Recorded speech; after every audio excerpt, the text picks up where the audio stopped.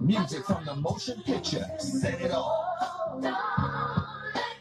All new music from the hottest stars around, including hit singles by En Vogue, Bone Thugs-n-Harmony, and Brandy, Tamia Gladys Knight, and Chaka Khan.